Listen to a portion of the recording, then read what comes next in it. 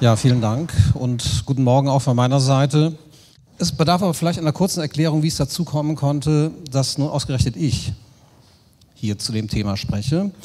Das bedurfte einiger weniger zufälliger oder vielleicht nicht ganz zufälliger Umstände, denn die Sichtweise, die ich in den folgenden knapp 60 Minuten darlegen werde, verdankt sich dem Umstand, dass in einem älteren Text, für den auch ich verantwortlich gezeichnet habe, zwischen nicht von Ukraine-Krieg, sondern von Ukraine-Konflikt die Rede ist. Und dieser Text wurde im Juni diskutiert und die Ausdrucksweise wurde kritisiert. Es wurde als eine Verharmlosung bezeichnet dass von Ukraine-Konflikt statt Krieg die Rede ist. Und ein baden-württembergischer Bundestagsabgeordneter meldete sich empört bei mir, woraufhin ich ihm in einer relativ kurzen E-Mail erklärt habe, dass ich sehr bewusst zwischen Ukraine-Krieg und Ukraine-Konflikt unterscheide. Ukraine-Krieg betrifft die militärischen Angriffshandlungen Russlands in der Ukraine und gegen die Ukraine seit dem 24. Februar dieses Jahres. Ukraine-Konflikt betrifft den Versuch des US-geführten Westens, die Ukraine aus der russischen Einflusssphäre herauszulösen, sie in die westliche Einflusssphäre einzugliedern und den Widerstand, den Russland dem entgegengestellt hat. Das ist der Ukraine-Konflikt. Ich habe das in einer E-Mail an den besagten Bundestagsabgeordneten dargelegt. Die E-Mail ist auch dem Leiter des hiesigen Instituts zur Kenntnis gelangt und er hat mich daraufhin gebeten, die Überlegungen, die dahinter stehen, hier darzulegen. Ich spreche zu Ihnen heute nicht als Programmatiker einer Partei oder als Politiker, sondern ich spreche heute zu Ihnen als Wissenschaftler. Das heißt, es geht mir um Fakten und um Theorie. Es wird auch ein paar Stellen geben, wo ich Sie in wissenschaftstheoretischer Hinsicht etwas beanspruchen werde, aber ich habe inzwischen festgestellt, dass das mit Ihnen kein Problem sein wird. Und ich vertrete auch keine bestimmte politische Ideologie, sondern es geht nur darum festzustellen, was hier eigentlich passiert ist und ob es theoretische Hilfsmittel gibt, mit denen wir diese Ereignisse einordnen können. Ich hatte schon erläutert, dass ich selbst stark in meinem Denken von den empirischen Sozialwissenschaften geprägt bin, von der Genauigkeit der Begriffsdefinition, die dort verlangt wird, von der Genauigkeit der Problemformulierung und auch von dem Begründungsanspruch, von der Genauigkeit des Begründungsanspruchs, der abverlangt wird, damit Aussagen als gültig anerkannt werden.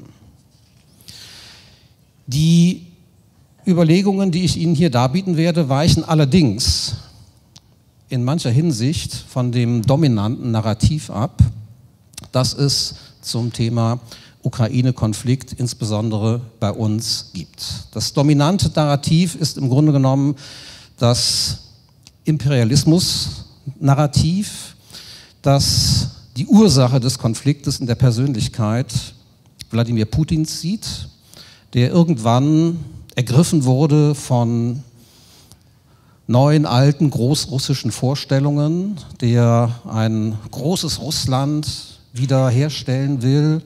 Manchmal wird es mit der Sowjetunion, manchmal wird es gar mit den Grenzen des Zarenreiches gleichgesetzt und der sich mit dem Angriff auf die Ukraine eigentlich auf einem Raubzug befindet, wo die Ukraine nur die erste Station ist und wo weitere Länder folgen sollen und auch Mittel- und Westeuropa gar davon bedroht sein. Das ist das dominante Narrativ in den Medien, das tagtäglich wiederholt wird und als gesetzt gilt. Im Februar 2008 sandte der damalige US-Botschafter in Moskau und heutige CIA-Direktor William J. Burns eine E-Mail an die damalige amerikanische Außenministerin Condoleezza Rice. Diese E-Mail erfolgte im Februar 2008, zwei Monate vor dem NATO-Gipfel in Bukarest, auf welchem ein Antrag der Ukraine auf Aufnahme in die NATO auf der Tagesordnung stand. Zwei Monate davor. Es ging darum, ob in Budapest für die Ukraine der sogenannte Membership Action Plan eröffnet wird. Der Membership Action Plan ist eine Vorstufe für die Aufnahme in die NATO. Es gibt dieses Verfahren, das MAP-Verfahren, seit 1999. Seit 1994, als die Überlegungen zur NATO-Osterweiterung konkrete Form annahmen, ich werde dazu noch genaueres ausführen, gab es auch innerhalb der NATO-Mitgliedstaaten unterschiedliche Auffassungen, ob das eigentlich wirklich eine gute Idee ist die NATO nach Osten zu erweitern. Und es gab also Fürsprecher und Gegensprecher. Und der Kompromiss bestand in dem Verfahren des Membership Action Plans, also einem mehrjährigen, mehrstufigen Verfahren, wo es um rechtsstaatliche Angelegenheiten, aber dann natürlich vor allen Dingen auch um militärische Angelegenheiten geht, Interoperabilität herzustellen und so weiter, gemeinsame Manöver. Und das sollte in Bukarest mindestens beschlossen werden. Die amerikanische Regierung, Präsident Bush, ging eigentlich noch weiter. Bush wollte, dass die Ukraine im Schnellverfahren aufgenommen wird, ohne Membership Action Plan. Sie sehen also, von der amerikanischen Seite war schon erheblicher Druck dahinter. Ähm, Sie wissen vermutlich, dass es zu dieser Entscheidung nicht gekommen ist, weil die deutsche Bundeskanzlerin, es war ein NATO-Gipfel der Staats- und Regierungschefs, eintägig am 3. April 2008 in Bukarest. Die deutsche Regierung war durch Bundeskanzlerin Merkel vertreten, die französische durch Staatspräsident Sarkozy und die beiden haben dem nicht zugestimmt. Ich werde, das, die NATO-Beschlüsse verlangen Einstimmigkeit aller Mitgliedstaaten. Ich werde dazu später noch ausführen. Im Vorfeld dieser Konferenz, dieser, dieses NATO-Gipfels, sandte also Burns diese E-Mail an Condoleezza Rice. Sie war als geheim eingestuft und ist einige Jahre später deklassifiziert worden und von Burns in seinen Memoiren, die 2019 erschienen sind und dem Titel The Back Channel in Auszügen veröffentlicht worden. Ich würde allen raten, die jetzt ungünstig sitzen, sich vielleicht von den Stühlen her so zu positionieren, dass sie die Projektionen sehen können. Es folgt jetzt nämlich eine Reihe von Folien, sodass sie also nicht einen steifen Hals bekommen, früher oder später.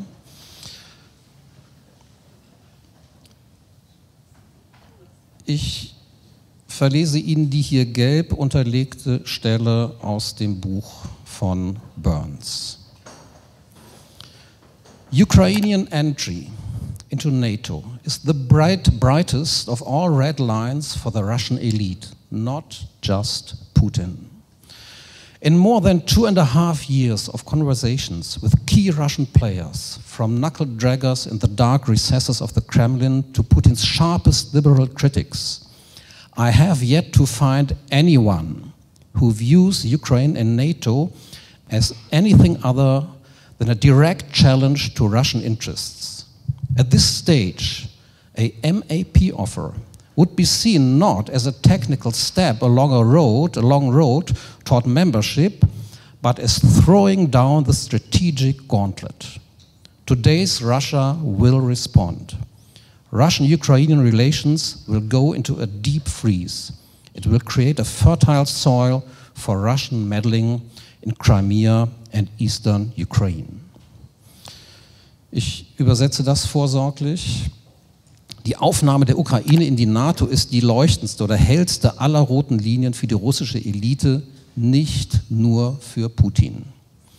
Nach mehr als zweieinhalb Jahren Gesprächen hier, von Primitivlingen in den finstersten Winkeln des Kremls bis hin zu, zu Putins schärfsten liberalen Kritikern, bin ich noch auf niemanden, und er meint hier wirklich auf keinen einzigen gestoßen, getroffen, der eine NATO-Mitgliedschaft der Ukraine als etwas anderes betrachten würde als eine direkte Verletzung russischer Interessen. In der derzeitigen Situation würde ein MAP-Angebot nicht als förmlicher Schritt auf einem langen Weg zur Mitgliedschaft gesehen, sondern als das Hinwerfen des strategischen Federhandschuhs. Das ist Throwing Down the Strategic Gauntlet. Das ist der strategische Federhandschuh, das heißt als Aufforderung zum Kampf. Das heutige Russland wird darauf reagieren. Das ist ein Bezug darauf, dass Russland das Trauma des Jelzin-Jahrzehnts hinter sich gehabt hat. Da hätte es nämlich nicht reagieren können. Das heutige Russland wird darauf reagieren. Die russisch-ukrainischen Beziehungen werden erstarren. Russland wird sich veranlasst sehen, auf der Krim und in der Ostukraine einzugreifen. William J. Burns, US-Botschafter in Moskau, zwei Monate vor dem NATO-Gipfel in Bukarest an seine Außenministerin.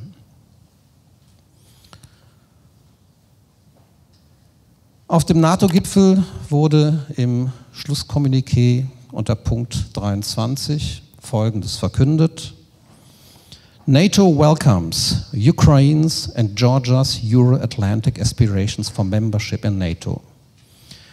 We agree today that these countries will become members of NATO. Ich hatte es Ihnen eben schon erläutert. Es gab das Veto von Merkel und Sarkozy gegen die Eröffnung des MAP. Diese Formulierung haben sie nicht verhindern können. Es wurde beschlossen, dass die MAP-Entscheidung auf den kommenden NATO-Gipfel Anfang Dezember in Brüssel, ein Gipfel der Außenminister, vertagt wird. Er wurde dann auch tatsächlich dort behandelt komme ich später zu. Aber wenn man es jetzt unter der langfristigen Perspektive betrachtet, muss man sagen, eigentlich war es kein Erfolg für Merkel und Sarkozy. Man könnte ja in diesem Moment glauben, oh, die nicht-amerikanischen NATO-Mitglieder haben ja tatsächlich Handlungsmöglichkeiten. Sie konnten den Bush-Wunsch verhindern einer sofortigen Aufnahme der Ukraine. Nicht einmal MAP hat er hier durchbekommen weil durch das Verhalten von Putin, der ja als Gast auf dem Gipfel war, klar war, das hat Merkel später auch gesagt, dass das, it will lead into trouble, um es englisch zu sagen. Tatsächlich ist aber, sind die Probleme, die für die Ukraine daraus entstanden sind, noch größer. Denn jetzt steht die Zusage im Raum, aber es sind keine Garantien damit verbunden, keine Schutzgarantien. Und genau diese Zwitterstellung sollte der Ukraine zum Verhängnis werden. Wenn es noch einer Begründung bedarf, bedurft hätte, dass wir es beim Ukraine-Konflikt in Wahrheit mit einem US-amerikanisch-russischen Konflikt zu tun haben, dann dürfte er mit diesem Dokument, dem Dokument von Burns, ausgeräumt sein. Und damit ist auch klar, dass es sich hier um einen Fall von Geopolitik handelt. Und ich empfehle Ihnen allen, wenn Sie in Diskussionen geraten über die Ukraine-Problematik, bestehen Sie zu Beginn darauf, dass die einschlägige Kategorie aufgerufen wird, nämlich die Kategorie der Geopolitik. Denn dann können Sie die erforderlichen Ableitungen vornehmen und auch die Einordnungen vornehmen, die das Narrativ, dass es sich gewissermaßen um Putins Privatkrieg hier handelt, entzaubern. Ich verwende den Begriff, den Ausdruck der Geopolitik hier nicht historisch-philologisch, wie es zu Beginn der Tagung gewesen ist, sondern ich verwende ihn pragmatisch. Wenn Sie eine Arbeitsdefinition brauchen für Geopolitik, dann würde ich Ihnen raten, auf den Handlungsbegriff von Max Weber zu rekurrieren. Sie wissen, Verhalten ist der Oberbegriff dazu. Verhalten wird verstanden als jede Zustandsänderung eines Organismus, also hier einer Organisation. Handeln ist bei Weber jedes Verhalten, das für den Handelnden mit einem subjektiven Sinn verbunden ist.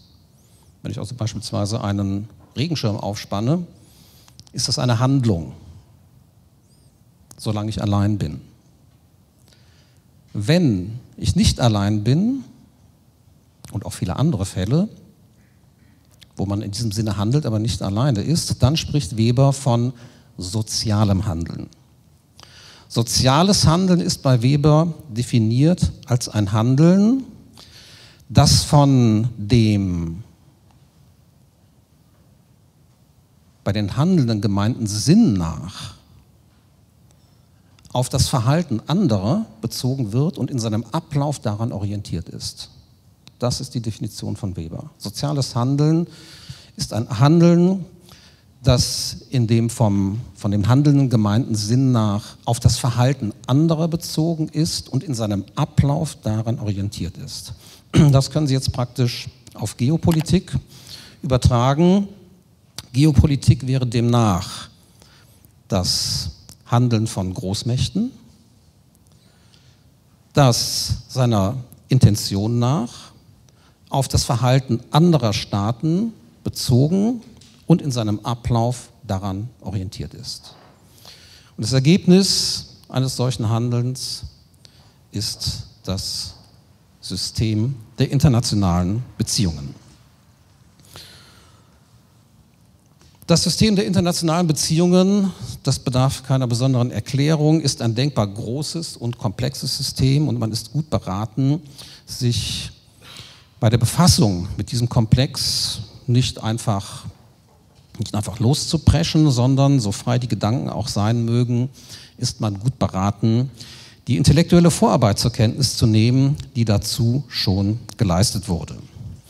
Ich werde Ihnen im Folgenden eine bedeutende Theorie der internationalen Beziehungen vorstellen, nämlich die Realismus-Theorie der internationalen Beziehungen, die nach meiner Überzeugung die besten Erklärungen bietet für das Geschehen in der Ukraine. Und im Anschluss nach diesen theoretischen Darlegungen werde ich versuchen, die konkreten Ereignisse in der Ukraine darauf zu beziehen und sie mit ihrer Hilfe zu erklären.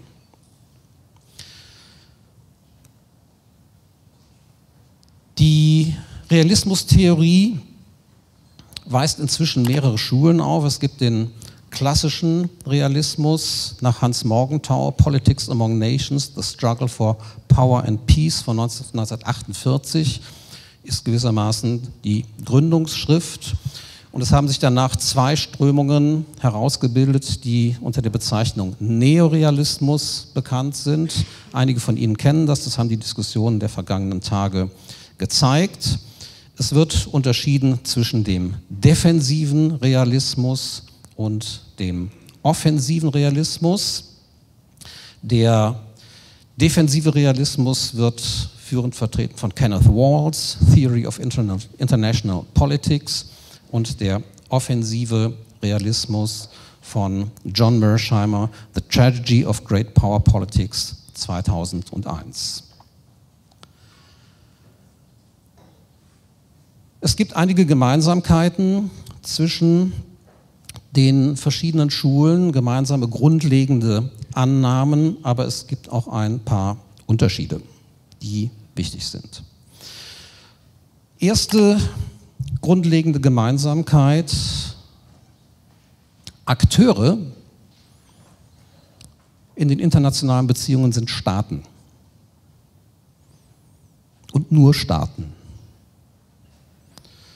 Die heute manchmal diskutierte Annahme, dass es auch nichtstaatliche Akteure gibt, die hier wirken, also zum Beispiel internationale Organisationen, transnationale Unternehmen, wird von den Realisten nicht anerkannt. Die machen, die können Wirkungen in verschiedener Hinsicht entfalten, aber sie machen keine Außenpolitik. Mersheimer betont, dass für das System der internationalen Beziehungen wirklich relevant nur das Handeln von Großmächten ist. Klein- und Mittelmächte haben keine eigenen, können keine eigene geopolitische Agenda verfolgen. Sie sind vielmehr gut beraten, wenn nicht gezwungen, sich in ihrem außen- und sicherheitspolitischen Verhalten oder Handeln an den Interessen und der Politik der relevanten Großmächte zu orientieren. Tun sie das nicht, haben sie Konsequenzen zu gegenwärtigen, zu gewärtigen, unangenehme Konsequenzen, im äußersten Fall Krieg. Schon das können Sie eigentlich auf die Situation der Ukraine beziehen. Es wird ja oft gesagt und auch zu Recht gesagt, die Ukraine ist ein unabhängiger, souveräner Staat. Budapester Memorandum 1994 ist anerkannt worden. Auch von Russland. Die Ukraine ist ein unabhängiger Staat, souverän.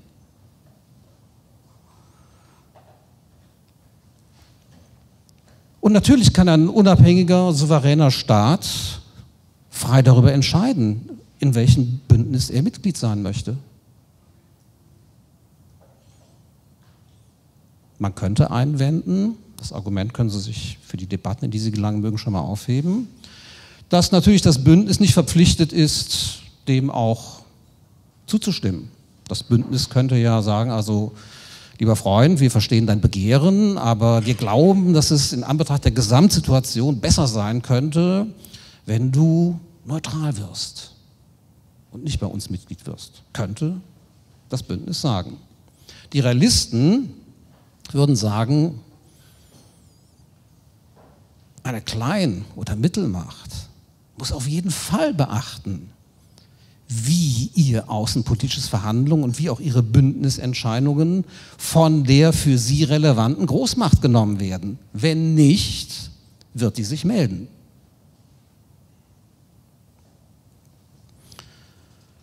Großmächte definieren sich in der Realismustheorie primär nach ihrer militärischen Stärke. Andere Faktoren, die Größe des Territoriums, die Größe der Bevölkerung, sind Voraussetzungen dafür, aber noch nicht an sich führen sie auch zu militärischer Stärke. Es braucht auch einen Stand der technologischen Entwicklung. Es braucht die Verfügung über Rohstoffe und auf dieser Basis kann, muss aber nicht, die militärische Stärke entstehen. Mersheimer führt aus, dass verschiedene Faktoren gewissermaßen Moderatorvariablen eintreten können, was die Transformation von wirtschaftlicher Leistungskraft in militärische Stärke äh, betrifft. Da spielen auch politische Entscheidungen eine Rolle, also welchen Aufwand eine Regierung, ein Staat tatsächlich betreiben will. Man kann mehr und man kann weniger tun. Wem sage ich das in Deutschland? Für den Großmachtstatus ausschlaggebend ist aber letztlich die tatsächliche Transformation in militärische Leistungsfähigkeit. Also merken Sie sich, Geopolitik wird nach der Realismustheorie von Großmächten und nur von Großmächten bestimmt. Zweite gemeinsame grundlegende Annahme, das internationale System ist anarchisch. Das bedeutet nicht, dass es per se chaotisch oder von Unordnung zerrissen wäre. Und die anarchische Verfassung führt auch nicht per se zum Konflikt. Anarchie bedeutet wörtlich das Fehlen von Herrschaft. Es bedeutet einfach nur, dass es keine den Staaten übergeordnete zentrale Autorität gibt. Andernfalls wären die Staaten im strengen Sinne, die Großmächte, auch nicht souverän. Die Machtstrukturen, die Struktur des internationalen Systems sind daher auch nicht dauerhaft, sondern verändern sich, weil es eben nicht diese übergeordnete Instanz gibt, die die Ordnung wiederherstellen würde.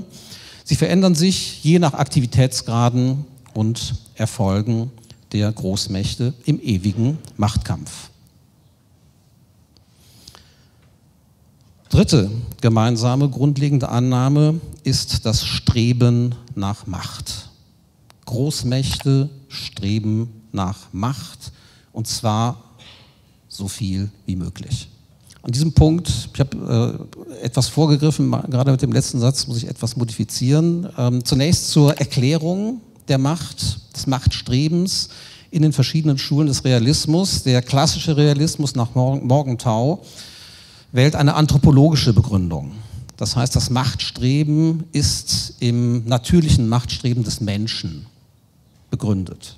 Die defensiven Realisten anerkennen das Machtstreben sagen aber, dass es eine Grenze gibt. Es wird nur so viel Macht angestrebt, wie erforderlich ist, um Balance of Power zu erreichen. Wenn das der Fall ist, lässt man gewissermaßen mit der Anstrengung nach, weil natürlich weiterer Machtzuwachs ressourcenintensiv ist, die man auch woanders gebrauchen kann. Daher defensiver Realismus, kein unbegrenztes Machtstreben. Die offensiven Realisten, Mersheimer, gehen hier, und deswegen heißen sie auch offensive Realisten, gehen weiter. Das Machtstreben ist gewissermaßen unersättlich. Es kann nie genug sein. Wie sich das erklärt, werde ich gleich noch ein bisschen genauer, ausführen, wenn wir auf Mersheimer selbst zu sprechen kommen. Aber es gilt hier im offensiven Realismus, jede sich bietende Chance, die Machtoptionen zu erweitern, wird genutzt. Machtstreben von Großmächten ruft Gegenaktivität bei anderen Großmächten hervor. Die Großmächte beäugen sich wechselseitig, misstrauisch. Nicht nur in militärischer Hinsicht, auch in anderer Hinsicht, wirtschaftlich. Von ihren Beziehungen her, von den Handlungsoptionen, die sie aufbauen.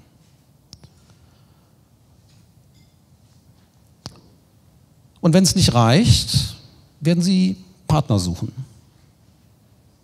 Wenn ich alleine eine aufstrebende Großmacht, beziehungsweise eine Großmacht, die zum, den, den Hegemoniestatus anstrebt, wenn ich sie alleine nicht ausbalancieren kann, dann suche ich Partner. Ein beliebtes Spiel in dieser Situation ist das sogenannte Bugpassing. Bugpassing bedeutet, dass man auch versucht, erstmal jemand anderen vorzuschieben, dass der Balancing betreibt, dass der den Aufwand betreibt. Denn es ist immer für einen Staat Stress, einen Vorsprung des anderen auszugleichen. Denken Sie an das Wettrüsten. Im konventionellen Bereich, im nuklearen Bereich, im technischen Bereich.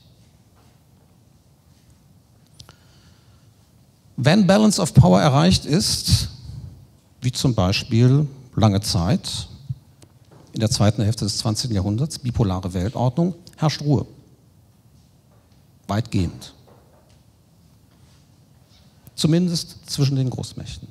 Dieser wichtiger, ich möchte sagen sehr wichtiger gemeinsamer Punkt, der aber nicht konstitutiv ist für das Machtstreben der Staaten, der aber konstitutiv ist für die Realismustheorie, betrifft die Tatsache, dass die innere Verfassung der Staaten, ihr politisches System für ihr außenpolitisches Handeln irrelevant ist. Das müsste eigentlich jeden erstaunen, weil die Debatten, die geführt werden, ja oftmals Systemvergleichsdebatten sind. Wir haben ja gerne die Guten und die Bösen und das irgendwie Bessere und das Schlechtere, das Gerechte und das demokratische und das autoritäre System. Und die Realisten bestreiten auch nicht, dass man solche Unterscheidungen vornehmen kann, dass man auch unter mancherlei Aspekten Bewertungen vornehmen kann. Sie sagen nur, für das außenpolitische Handeln der Staaten ist das irrelevant.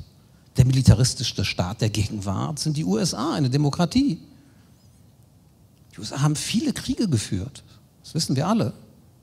Es ist also nicht so, dass Demokratie zu einer Einstellung der militärischen Aggression führen würde. Im Gegenteil. Die herrschende Ideologie im außenpolitischen Establishment von Washington, nämlich die Ideologie der liberalen Hegemonie, verlangt Intervention. Warum ist das so? Weil die liberale Ideologie vom Individuum ausgeht. Wenn ich das nun in meinem eigenen Staat realisiert habe, aber feststellen muss, dass in anderen Staaten die Menschenrechte verletzt werden und ich über die Machtmittel verfüge, den Menschen dort ihre Rechte zu geben, dann ist ein sehr starker Anreiz gegeben, das auch tatsächlich zu tun und zu intervenieren. Die Menschen haben nach der Ideologie der liberalen Hegemonie überall auf der Welt die gleichen Rechte. Das impliziert auch einen Aspekt von Grenzenlosigkeit. Und wenn sie verletzt werden, bin ich aufgefordert und über die Mittel dazu verfüge, das zu ändern, bin ich aufgefordert, das zu tun. Also an Bewertungen, Bewertungsmöglichkeiten mangelt es nicht. Nur die Realisten sagen, für das außenpolitische Handeln der Staaten ist das vollkommen irrelevant. Lassen Sie uns nun einen Blick auf ein paar speziellere, auf die spezielle Argumentationskonfiguration bei Mersheimer in seinem Werk The Tragedy of Great Power Politics werfen. Bei Mersheimer, jetzt kommen wir in den wissenschaftstheoretischen Teil des Vortrags, bei Mersheimer sind fünf Grundannahmen entscheidend. Die erste kennen Sie, das internationale System ist anarchisch. Zweitens, Großmächte verfügen über ein militärisches Offensivpotenzial, das sie zur gegenseitigen Beschädigung bis hin zur Vernichtung befähigt. Drittens, Großmächte haben niemals Gewissheit über die Intentionen und die wahren militärischen Fähigkeiten anderer Mächte. Viertens, Selbsterhalt, im englischen Survival, ist das primäre Ziel von Großmächten. Und fünftens, Großmächte sind rationale Akteure. So, warum ist das jetzt wissenschaftstheoretisch wichtig? Das ganze Argumentationssystem von Mersheimer funktioniert nur, wenn diese Aussagen, jede dieser Aussagen für sich unabhängig von Empirie Gültigkeit beanspruchen kann. Wenn es so wäre, dass er diese Aussagen aus der Historie ableitet, aha, Staaten tun dies und das, und daraufhin diese Annahmen formuliert als Gesetzmäßigkeiten, dann würde er im Grunde genommen induktiv vorgehen und könnte nicht hinterher gewissermaßen einen Blick in die Geschichte werfen, um zu gucken, ob es denn jetzt stimmt. Das wäre dann ein reiner Zirkelschluss.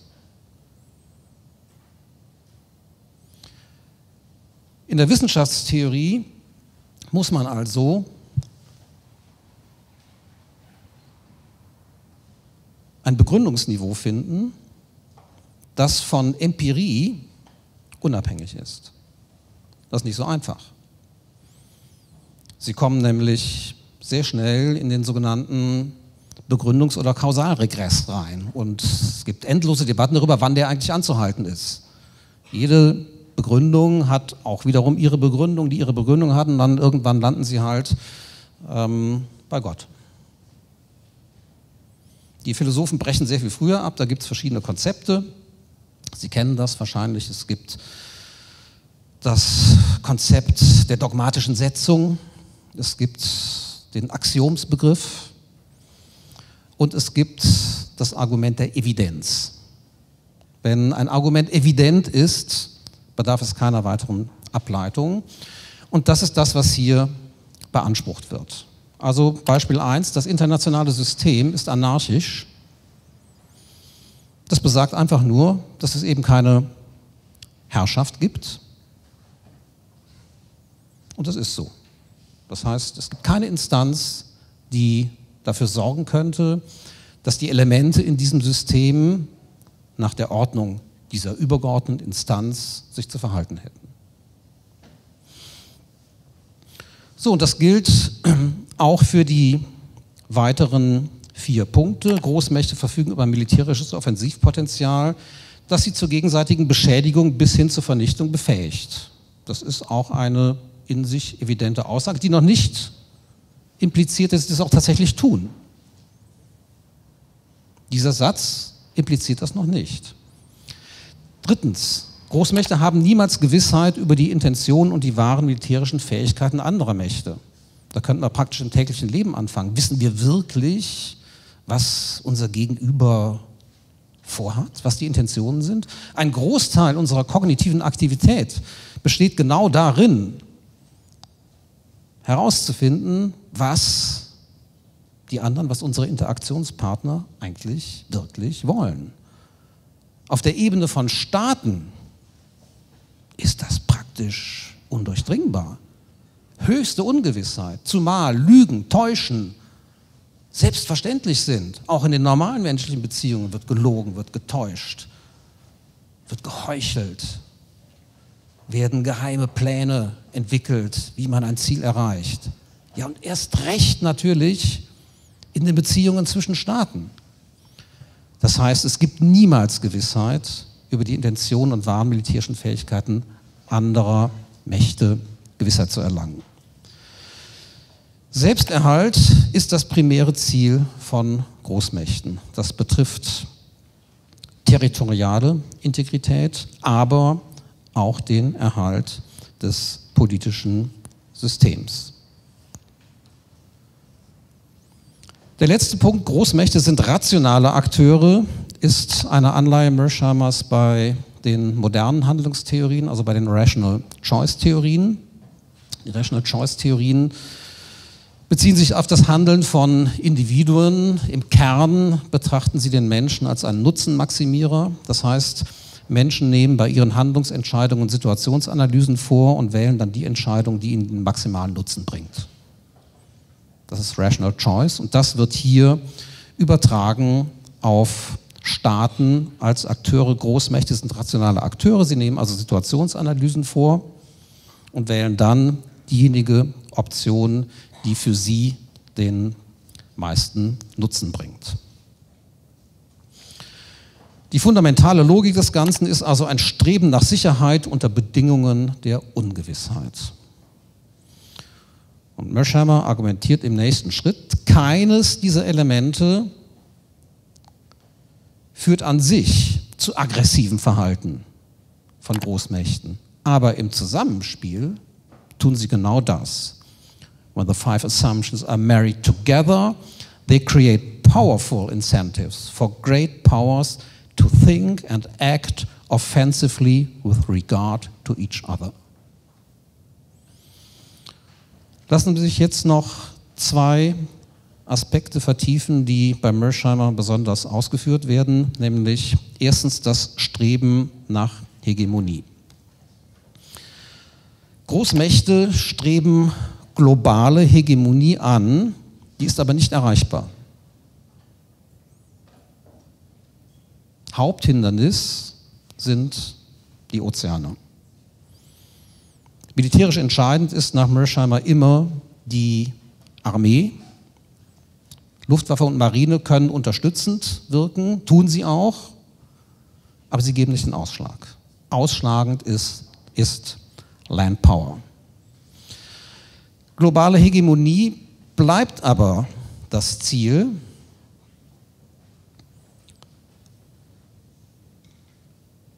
Pardon. Globale Hegemonie bleibt das Ziel, weil nur dann die Großmacht absolute Gewissheit hat. Wir werden gewissermaßen bei tatsächlichem Erreichen von globaler Hegemonie durch eine Großmacht bei Kants ewigen Frieden angelangt.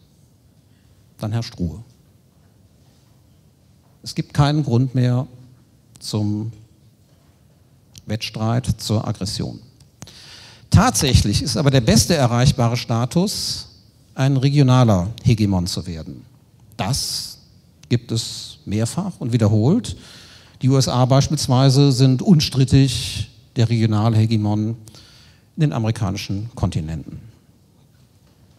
Das Streben der Großmächte ist also das, den Hegemoniestatus in der Region, in der Großregion zu erreichen.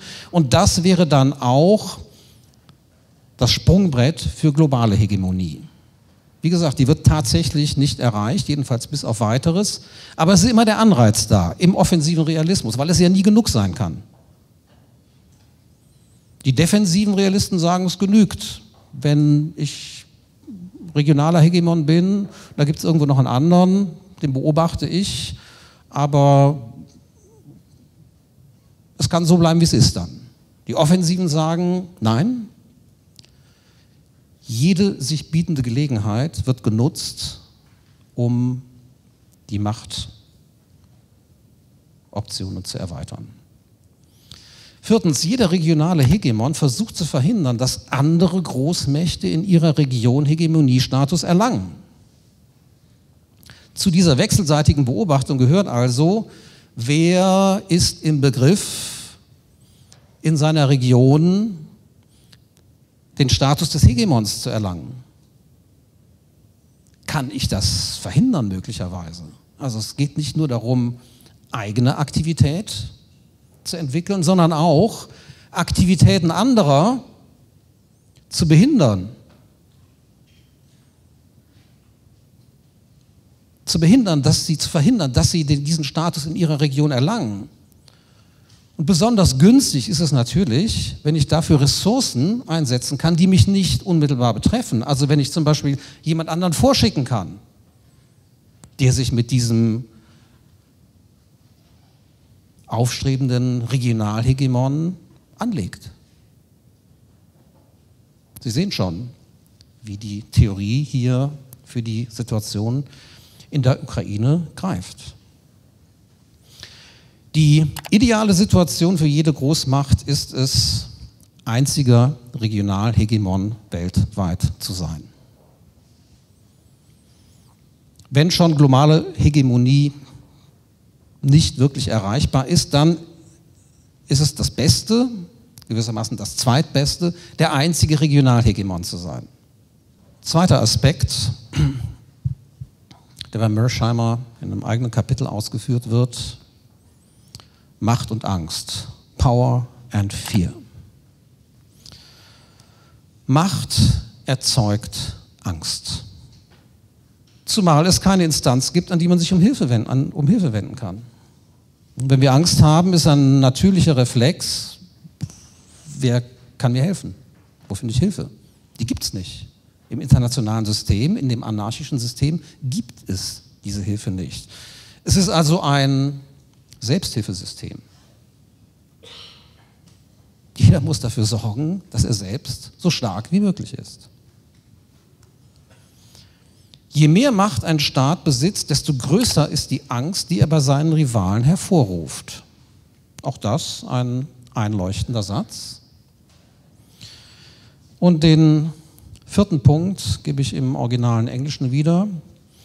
A scared state will look especially hard for ways to enhance its security, and it will be disposed to pursue risky policies to achieve that end.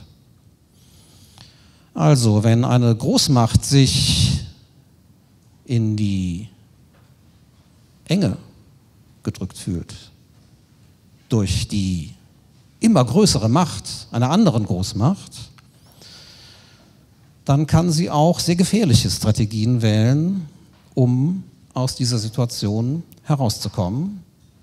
Sie kann auch zum Mittel des Krieges greifen. Soweit die theoretischen Ausführungen und ich möchte das nun im nächsten Schritt auf die Historie der amerikanisch-russisch-ukrainischen Beziehungen beziehen. Viele Autoren, auch Mersheimer, setzen als entscheidendes Datum an den schon hier vorgestellten NATO-Gipfel im April 2008 in Bukarest.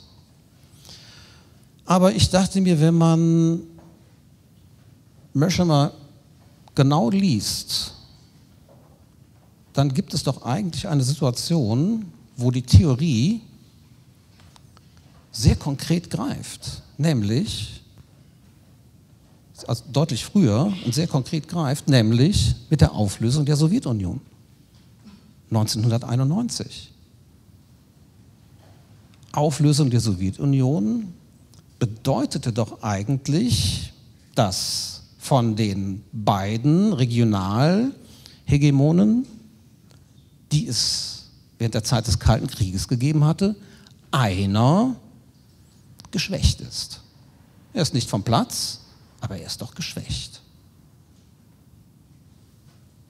Ja, ist das nicht der Moment, wo man zugreifen muss, wo man zuschlagen muss? Die offensiven Realisten würden sagen, natürlich. Ist doch klar, dass dieses Land jetzt erstmal in seine post-sowjetische Transformationskrise hineingerät, wie wir sie im Nachhinein genannt haben. Wir wissen alle, dass das Jelzin-Jahrzehnt für Russland ein Trauma war. Aber für den Hegemon auf der anderen Seite des Atlantiks muss es eigentlich klar sein, dass das die Chance ist, zuzustoßen. Nun gibt es natürlich das Problem, dass man ja versprochen hatte, dass sich die NATO nicht nach Osten erweitert große Debatte in der ganzen Angelegenheit. Ich nehme an, viele von Ihnen kennen das auch. Also die Frage, gab es eine Zusage, dass sich die, gab es im Rahmen der 2 plus 4 Verhandlungen eine Zusage, dass sich die NATO nicht nach Osten erweitert. Wir brauchen das hier im Einzelnen nicht darzulegen. Fazit ist, es gab jede Menge mündliche Versicherungen, aber es gab keine schriftliche Vereinbarung. Das ist das Fazit der Debatte hochinteressant. Also man könnte darüber ganze, ich nehme an, dass man darüber sogar eine Dissertation schreiben könnte. Denn die Amerikaner haben ja die ganzen Dokumente freigegeben. Das finden Sie auf, der, auf einer Seite der George Washington Universität, finden Sie hunderte von Dokumenten genau zu diesem Thema. Können Sie wochenlang drin stöbern. Die Souveränität, wenn ich das hier in Parenthese sagen darf, die Souveränität der USA und des amerikanischen Modells zeigt sich unter anderem darin, dass man seine Absichten, seine Pläne oftmals ganz offen aussprechen kann und die Dokumente zugänglich macht. Ich meine, denken Sie an Papiere wie die großen Schriften der Rand Corporation von 2019, wo klipp und klar gesagt wird, Overextending and Disbalancing Russia, das ist das Programm.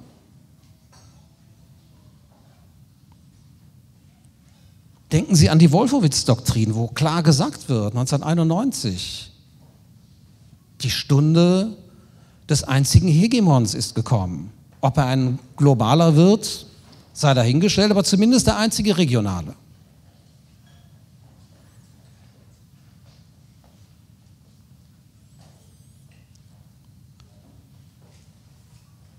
Die Regierung Bush, der Ältere, war zunächst immer zögerlich, in diese Richtung vorzugehen.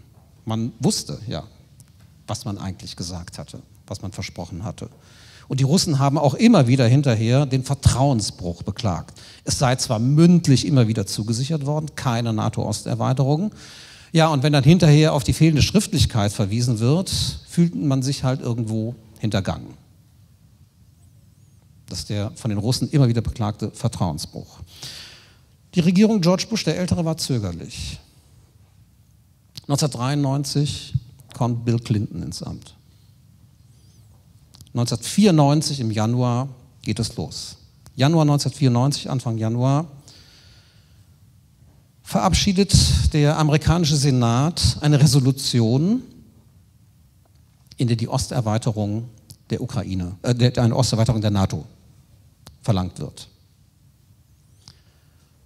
Noch im selben Monat tagt ein NATO-Gipfel in Brüssel, berät darüber und empfiehlt den Mitgliedstaaten, in dieser Richtung vorzugehen. Also NATO-Osterweiterung, Januar 1994, April 1994, der amerikanische Kongress beschließt den NATO Enlargement Act, der den Präsidenten dazu auffordert, einen Plan zu entwickeln für die Osterweiterung der NATO. April 1994. Sie wissen, die erste Tranche der NATO-Osterweiterung erfolgte dann 1999 mit Polen, Ungarn und Tschechien als ersten neuen Mitgliedern. Richtig, ne? die drei. Und das ist natürlich bedarf einer Vorarbeit, das ist klar. Und die Amerikaner wissen auch, also es muss auch jetzt mit den Russen gesprochen werden. Es wird also der NATO-Russland-Rat ins Leben gerufen, 1997. Gleichzeitig beginnen aber auch schon Gespräche mit der Ukraine. Clinton treibt das Ganze voran und, wie schon mehrfach gesagt, Russland befindet sich in einer Situation der Schwäche. Einbruch der Wirtschaft. Jelzin in der Krise als Staatspräsident 1996, als die Wiederwahl ansteht, bei den Umfragen 4 Prozent. Es droht, dass Djuganov, der 40 Prozent hat bei den Umfragen, der Altkommunist das Ganze wieder übernimmt. Die Russen waren alles andere, die russische Bevölkerung war alles andere als froh über das, was der Liberalismus, die liberale Demokratie in ihr Land brachte. Große Teile der Bevölkerung, zwei Drittel der Bevölkerung lebten in Armut. Die Lebenserwartung ging zurück, unter 60 Jahre. Während gleichzeitig das System entstand, das wir heute als die russische Oligarchie bezeichnen.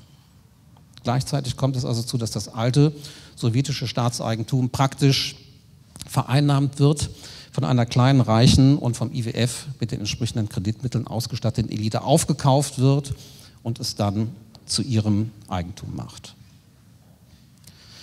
Russland kann dem nichts entgegenstellen. Das heißt, entsprechend der Theorie nutzen die Amerikaner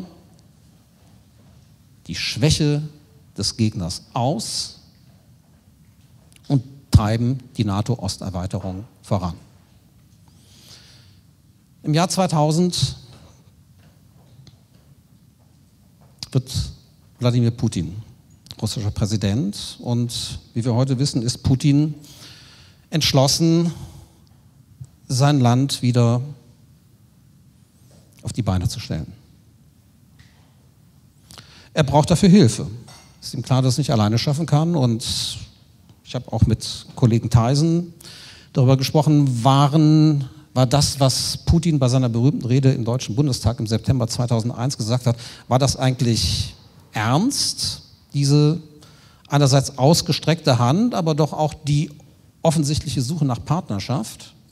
Oder war das alles, wie man ja bei Putin immer annehmen muss, alles nur ein einziges Täuschungs- und Lügenmanöver? Man weiß es letztlich nicht. Ich sprach eben schon von der Ungewissheit. Man weiß es letztlich nie, was im Kopf des anderen vorgeht. Aber es spricht doch manches dafür, auch rationale Überlegungen sprechen dafür, dass Putin das ernst meinte. Denn er brauchte Partner, um sein Land wieder aufzurichten. 2001 wird George W. Bush, Bush der jüngere Präsident der Vereinigten Staaten, und Bush stößt sofort nach. 2002 kündigen die USA nach 30 Jahren den ABM-Vertrag. 1972 geschlossen. Der ABM-Vertrag, also ABM Anti-Ballistic Missiles, ist ein Vertrag, der die Begrenzung von Defensivwaffen zwischen den beiden Atommächten regelt. Warum die Begrenzung von Defensivwaffen? Die, die, die Anti-Ballistic Missiles dienen ja dem Abschuss von Mittel- und Langstreckenraketen. Die Begrenzung deshalb, es war also Teil dieser Rationalität zwischen den Großmächten, zwischen den beiden Nuklearmächten, sich sozusagen nicht wirklich gegenseitig auslöschen zu wollen, dass man auch diese Waffensysteme begrenzt, weil wenn einer von beiden über so viele ABMs verfügt, dass er die Gegenschlagsoption des anderen neutralisieren kann, dann wächst die Wahrscheinlichkeit, von der eigenen Erstschlagsmöglichkeit Gebrauch zu machen. Und dieser Psychologie wollte man vorbeugen. Bush kündigt das 2002.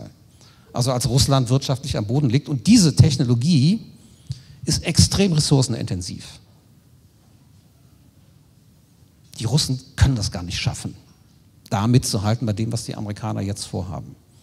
Aber die offizielle Erklärung der Amerikaner lautet, naja, es geht uns da doch darum, den Iran in Schach zu halten perspektivisch. Der Iran arbeitet doch an einem Atomprogramm. Darum geht es. Wir wollen in Europa, das wird sozusagen jetzt schon vorgedacht, wir wollen in Europa ABM-Systeme gegen den Iran installieren. Und Putin, clever wie er ist, sagt, ja, so, ihr könnt unsere Basen in Aserbaidschan benutzen. Da seid ihr noch viel näher am Iran dran, kein Problem. Das wollten die Amerikaner nicht. Nein, nein, wir suchen uns unsere eigenen Orte. Es hat sich lange hingezogen, weil diese Technologie sehr anspruchsvoll ist, aber Sie wissen, wo die Systeme heute stehen. Sie stehen in Rumänien und in Polen. Immer wieder heißt es, sie sind gegen den Iran gerichtet. Es sind sowieso reine Defensivsysteme. Die Wahrheit ist, dieselben Systeme, dieselben Abschussrampen, die MK-41-Systeme, können auch ballistische Raketen abschießen. Sie werden eingesetzt für ABMs, aber sie können selbst auch ballistische Raketen abschießen. So, wenn ein solches System in der Ukraine, in der Nähe der russischen Grenze stationiert würde, würde sich die Vorwarnzeit für Moskau auf wenige Minuten reduzieren. Das heißt, die Bedrohung, von der Putin immer wieder gesprochen hat, die von einer NATO-Osterweiterung und die Ukraine ausgeht, und das ist das zentrale Problem, war nicht nur Angst aufgrund der Macht des anderen, sondern sie hat tatsächlich auch konkrete militärische Implikationen.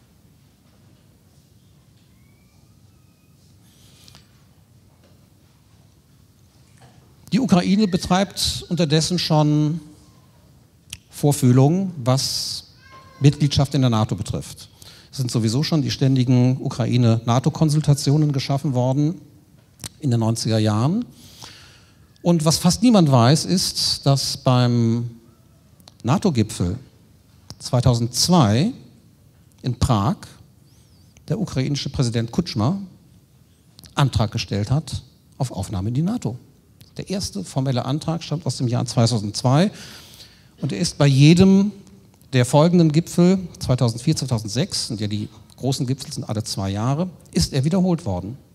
Ein zweites Mal von Kutschma 2004 und dann 2006 äh, von Juschenko. Es wurde von der NATO jedes Mal abgelehnt, aber man wies darauf hin, also macht erstmal das und das und das. Und äh, wir haben ja eine, eine, Arbeitsgruppe und ihr müsst erstmal für geordnete Verhältnisse hier und dort sorgen und äh, ihr guckt mal, wie ihr mit denen und ihrem Waffensystem klarkommt und so weiter. Also es beginnt schon ein Aufbau. 2008 ist es dann soweit. 2007 im Februar, Sie wissen, Rede von Putin bei der Sicherheitskonferenz in München im Februar 2007. Putin kündigt an, er fühlt sich jetzt schon etwas erstarkt. Er kündigt an, dass sich die geopolitischen Verhältnisse ändern müssen, dass es nicht mehr dabei bleiben kann, dass die NATO im Grunde genommen an die Stelle der UNO getreten ist, die ja Russland faktisch als Vetomacht in der UNO entmachtet. Er kündigt an, dass Russland wieder auf die geopolitische Bühne zurückkehren wird. Februar 2007. Die Antwort der USA kennen Sie schon. Das ist der NATO-Gipfel 2008. Der vierte Antrag der Ukraine ist erfolgreich, ist teilerfolgreich. Das heißt, es wird wie vorhin verlesen, beschlossen, Ukraine and Georgia will become members, also eine Futurform, die gewählt wird, aber der Membership Action Plan wird durch das Veto von Merkel und Sarkozy noch nicht in Gang gesetzt. Das wird auf den Dezember verschoben. Wie war eigentlich in der ukrainischen Bevölkerung die Stimmung in diesen Fragen zu der Zeit? Ich zeige Ihnen hier im Vorfeld dieser ganzen Situation eine repräsentative Umfrage des Rasumkov-Zentrums vom Oktober 2006. Das Rasumkov-Zentrum ist unverdächtig. Es wird von der Washington Post in den höchsten Tönen gelobt. Sie brauchen also nicht ähm, zu befürchten, dass hier irgendwie pro-russische Daten abgebildet würden. Welche Orientierung der Außenpolitik sollte, die, sollte für die Ukraine Priorität besitzen? Antwort, Sie sehen den großen Block rechts, Russland 44,1 Prozent, Staaten der EU 30,1 Prozent, USA 1,9 Prozent. Das ist die Sichtweise der ukrainischen Bevölkerung. Denken Sie daran, zu dem Zeitpunkt haben bereits drei Aufnahmeanträge durch die ukrainischen Präsidenten auf Aufnahme in die NATO vorgelegen. Also ganz offensichtlich am Willen und am Interesse der Bevölkerung vorbei, ja entgegen diesem Willen und Interesse.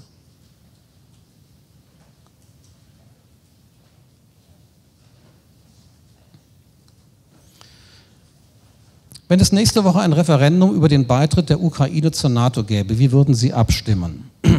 53,9 Prozent gegen den Beitritt, für den Beitritt 17,1 Prozent. Wie gesagt, anderthalb Jahre später wird der Beitritt quasi beschlossen.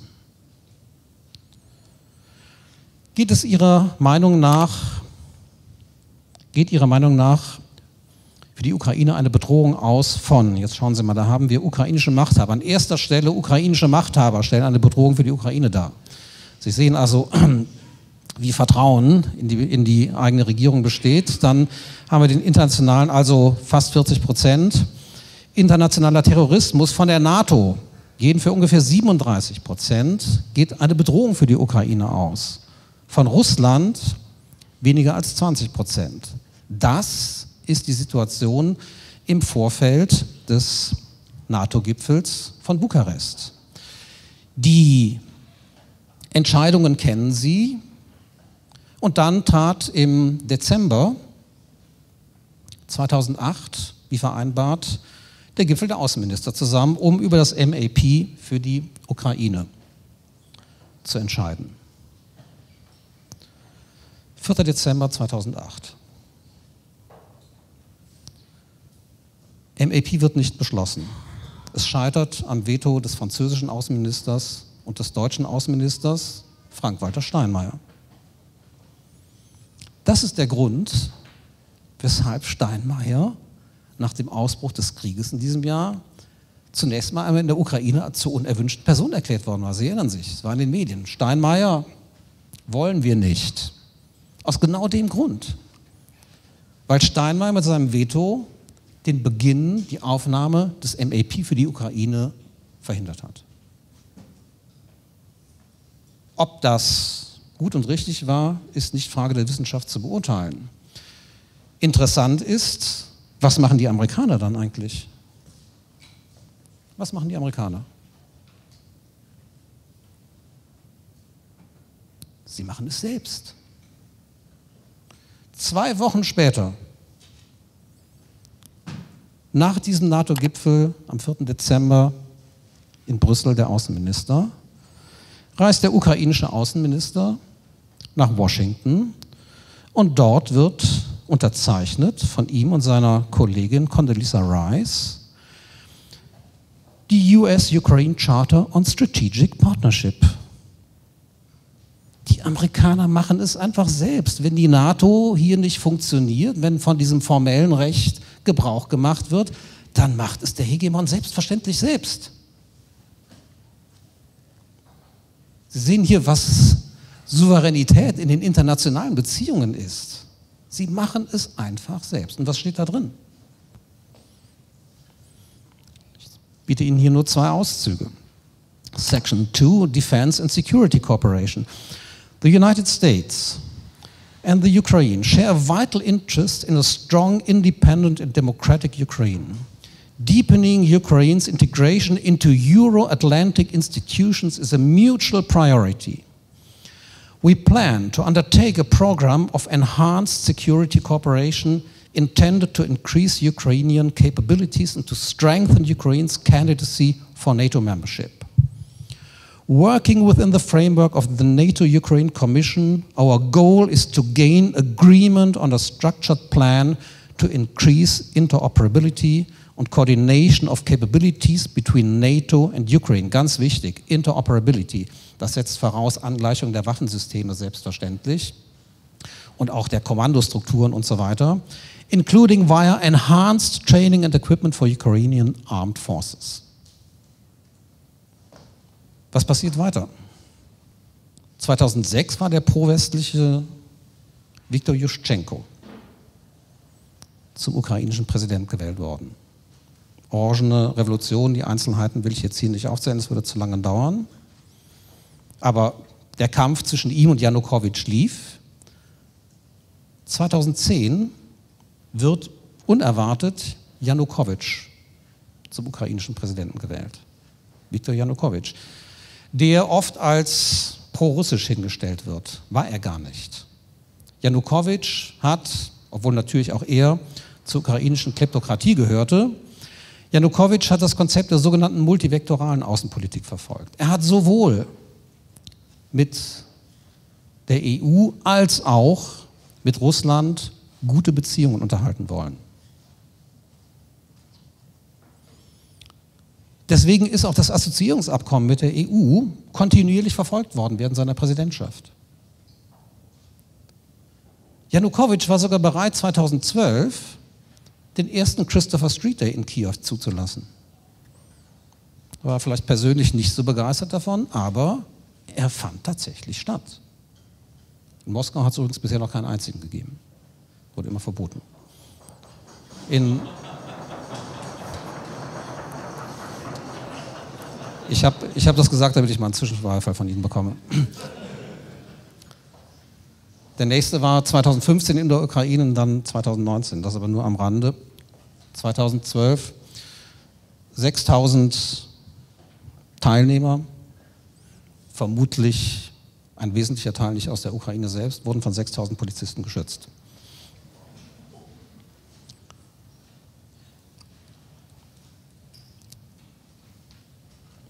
Janukowitsch verfolgt, wie Sie wissen, die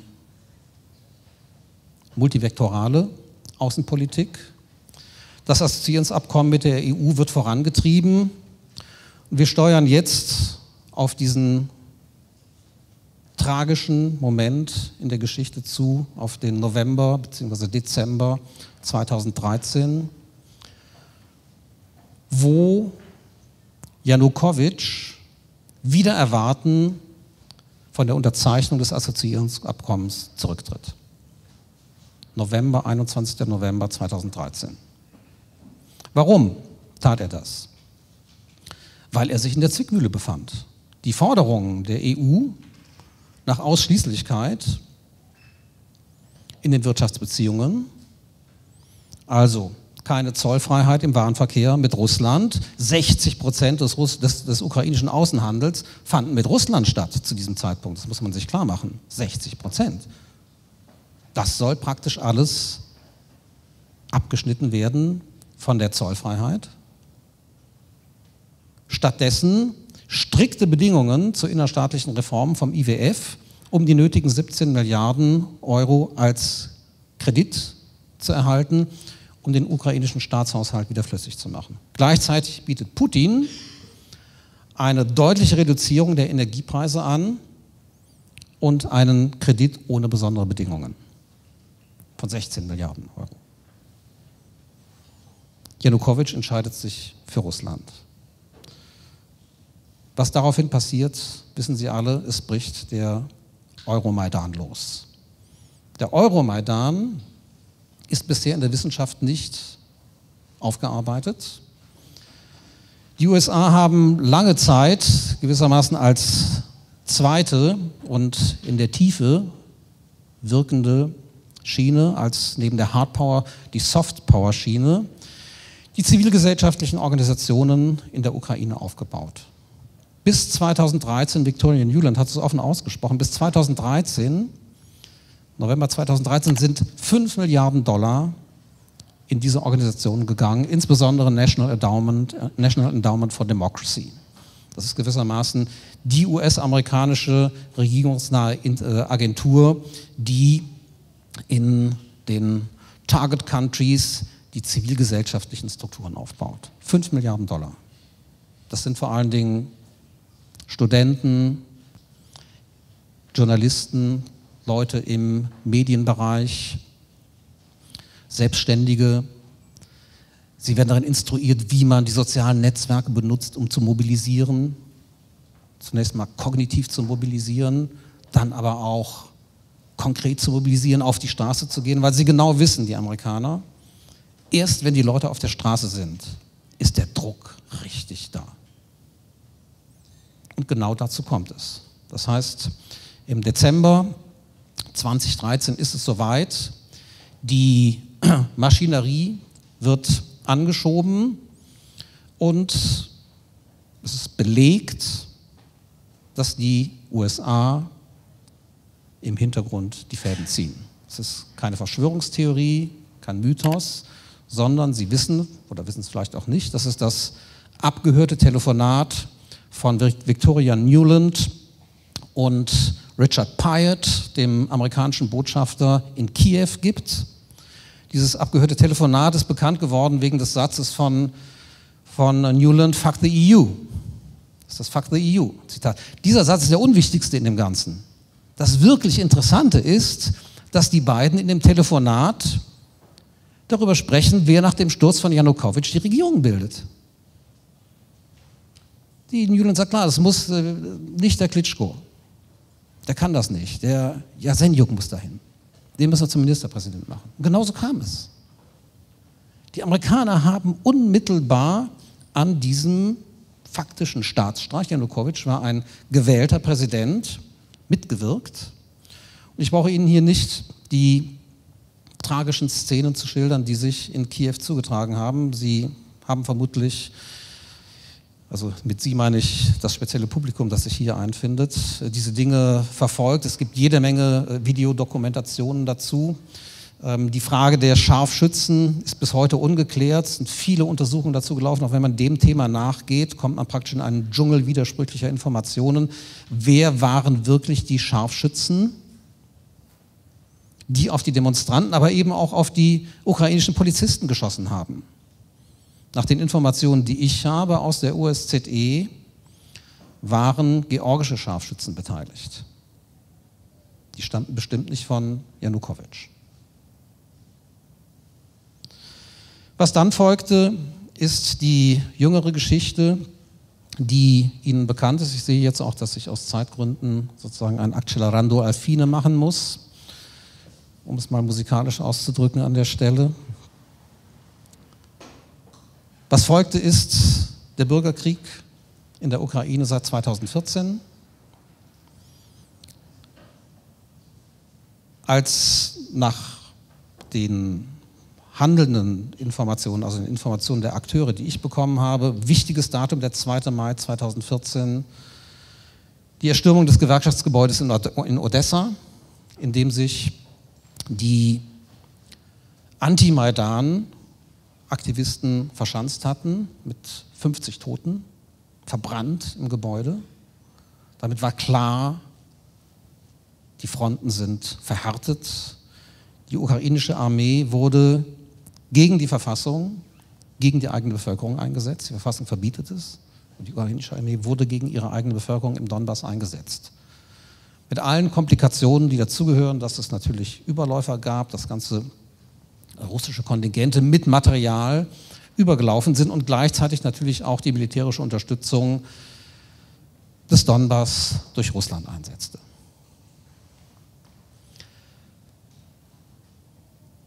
Es wurde dann Poroschenko installiert als neuer Präsident, ein weiterer Oligarch. Und es besteht allgemein die Auffassung, dass doch seitdem die NATO-Mitgliedschaft, die jetzt mit Janukowitsch sowieso erstmal auf Eis gelegt worden war, auch nicht weiter verfolgt worden ist. Es stimmt nicht. Die NATO hat seit 2014 jährlich 10.000 ukrainische Soldaten ausgebildet.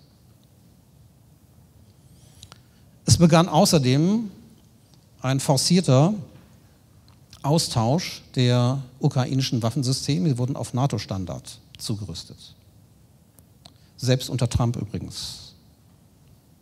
2017 Defensivsysteme nach Kiew geliefert. Es finden gemeinsame Manöver statt von NATO-Verbänden und der Ukraine.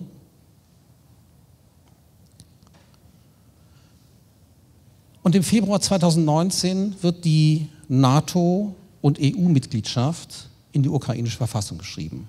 Einer der letzten Amtshandlungen von Poroschenko, das durchzusetzen, im Februar 2019, die Verfassungsänderung. Das heißt, die NATO-Mitgliedschaft und die EU-Mitgliedschaft sind jetzt Staatsziele mit Verfassungsrang.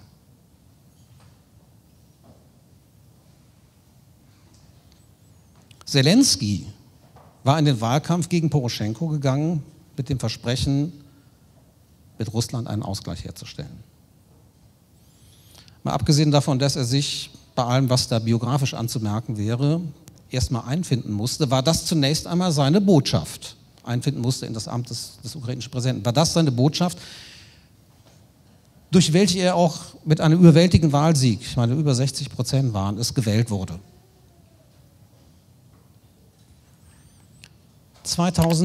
2021 beginnt Zelensky umzuschwenken. 2021 beginnt Zelensky umzuschwenken. 2000, Im Januar 2021 ist Joe Biden im Amt, im Weißen Haus. Wenig später beginnt Zelensky eine ganz andere Politik zu verfolgen. Im März 2021, weiß auch fast niemand, in Deutschland war es ausschließlich in der Berliner Zeitung zu lesen, unterzeichnet Zelensky ein Dekret, das die ukrainischen Streitkräfte anweist, die Krim zu deokkupieren, das heißt militärisch zurückzugewinnen. Daraufhin beginnen starke Truppenverlagerungen der ukrainischen Armee in den Osten des Landes. Gleichzeitig beginnt, die, beginnt Russland mit der Zusammenziehung seiner Truppen an der russisch-ukrainischen Grenze auf der russischen Seite, wie Sie wissen. Das ganze vergangene Jahr ist dadurch geprägt gewesen. 2021, also im vorigen Jahr, wiederholt die NATO bei ihrem Gipfel in Brüssel die Formulierungen des Gipfels von 2008. Es wird ausdrücklich bekräftigt, dass die Ukraine Mitglied der NATO wird. Zwei, zwei Monate später, im September, findet ein gemeinsames Manöver statt. Ah, zunächst mal im Juli auch selbst die Operation Sea Breeze, das heißt äh, eine Marineübung mit 31 Ländern im Schwarzen Meer, das also direkt gegen Russland gerichtet ist. Zwei Monate später Rapid Trident, das ist eine Manöverserie, die schon vorher bestanden hatte, die unter Leitung ukrainischer Truppen in der Ukraine stattfindet, das Manöver, aber auch unter Beteiligung von NATO-Truppen. Und es beginnt sich auch der Ton in der internationalen Presse zu ändern. Das heißt, es gibt eine neue Begeisterung für die NATO-Mitgliedschaft der Ukraine. Und Zelensky, ich hatte das schon berichtet, reist dann tatsächlich im September 2021 ins Weiße Haus, wo Biden bei der abschließenden Pressekonferenz klarmacht, dass die USA firmly committed sind to Ukraine's Euro-Atlantic aspirations. Im November 2010 unterzeichnen Tony Blinken und sein ukrainischer Kollege einen erneuten US-Ukraine Charter on Strategic Cooperation. Das Papier, was ich Ihnen vorhin gezeigt habe, also das äh, Rice-Papier, wird jetzt noch einmal bekräftigt im November 2021. Es kann keinen Zweifel geben, die NATO-Mitgliedschaft der Ukraine soll jetzt vorangetrieben werden. Und wenn jetzt gesagt würde, naja, warum sollte das denn die Ukraine beunruhigen, äh, die Russland, Russen beunruhigen? Es ist doch ein Defensivbündnis. Dann argumentiert hier Mersheimer, naja, entscheidend ist, wie die Russen das sehen und nicht, wie wir das sehen. Und sie betrachten das, sie erinnern sich an das Zitat von Burns, sie sehen die NATO-Mitgliedschaft der Ukraine als the brightest of red lines. Währenddessen nimmt der Truppenaufmarsch der Russen zu. Es finden Pressekonferenzen statt, in denen Putin und Lavrov klar und deutlich sagen, dass die NATO-Mitgliedschaft der Ukraine das zentrale Problem ist. Putin, ich, ich äh, zitiere es hier auf Englisch, what they are doing or trying or planning to do in Ukraine is not happening thousands of kilometers away from our national border. It's on the doorstep of our house. They must understand that we have nowhere further to retreat to. Do they really think we do not see these threats, or do they think that we will just stand idle by watching threats to Russia emerge? Zwei Monate später, we are categorically, im Februar 2022, sagt Putin bei einer Pressekonferenz, we are categorically opposed to Ukraine joining NATO because this poses a threat to us and we have arguments to support this. I have repeatedly spoken about it in this hall. Am 16. Februar beginnt von den in den Osten verlagerten Truppen der Ukraine im Zuge des Dekrets vom März 2021 ein starker Beschuss des Donbass am 16. Februar. Der Donbass war immer über die ganzen acht Jahre sozusagen locker beschossen worden, mit vielen Toten, aber es war kein schwerer Beschuss. Jetzt steigert sich der Beschuss und das wird verstanden von der russischen Seite, vermutlich wird es von der russischen Seite so verstanden, als der Beginn einer Offensivaktion und Putin gibt am 24. Februar den Befehl zur Invasion der Ukraine. Das ist die Geschichte und die Theorie im Hintergrund, die ich Ihnen dargelegt habe, erklärt das Handeln der Akteure, wie ich meine, sehr weitgehend, wenn nicht vollständig. Das Verhalten der Amerikaner, das Agieren der Amerikaner ist genau theoriekonform und auch das Verhalten der Russen ist im letzten Moment theoriekonform, wenn Sie so wollen, weil sie tatsächlich in der NATO-Osterweiterung und die Ukraine einen existential threat erkennen. Und wenn eine Großmacht, und Russland ist zu diesem Zeitpunkt noch eine Großmacht, wenn auch eine schwächelnde Großmacht, sich in dieser Weise bedroht fühlt, schlägt sie zurück. Vielen Dank für Ihre Aufmerksamkeit.